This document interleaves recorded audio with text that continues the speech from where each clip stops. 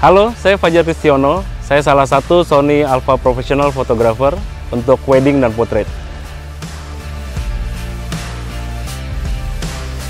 Resolusi untuk saya adalah satu kebutuhan, di mana pada setiap konsep potret misalnya, konsep make up, uh, outfit, properti, dan lain-lainnya, pada akhirnya akan membutuhkan output yang detailnya sempurna.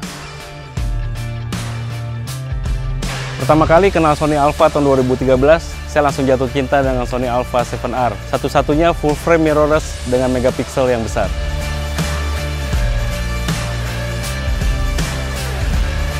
Untuk kalian yang membutuhkan full frame mirrorless dengan detail dan kualitas gambar yang terbaik, 7R series jawabannya.